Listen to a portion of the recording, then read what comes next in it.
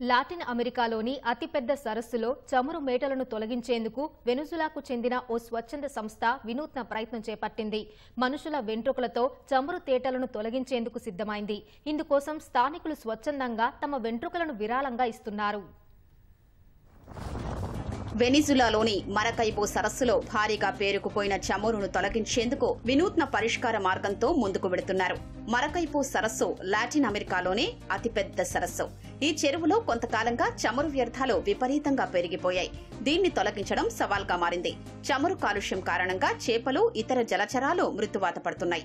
ఈ క్రమంలో వెనుజులకు చెందిన ఓ స్వచ్ఛంద సంస్థ క్రూడాయిల్ వ్యర్థాల తొలగింపునకు సరికొత్త పరిష్కార మార్గం ఎంచుకుంది. సరస్సులో చమురు తేటల్ని తొలగించేందుకు టన్నుల కొద్దీ మానవ జంతువుల కేశాల్ని కుమ్మరించాలని నిర్ణయించింది.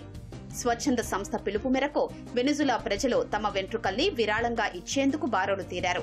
వెంట్రుకల్ని సరస్సులో కుమ్మరించనున్నారు. చెరువు ఉపరితలంపై వెంట్రుకల పొర వల్ల ఆయిల్ వ్యాపించదని స్వచ్ఛంద సంస్థ ప్రతినిధులు చెబుతున్నారు. వెంట్రుకలు చమురును పీల్చుకున్న తర్వాత తొలగించడం సులభమవుతుందని అంటున్నారు. ఒక పౌండు వెంట్రుకలతో ఎనిమిది టన్నుల చమురు తొలగించనున్నారు.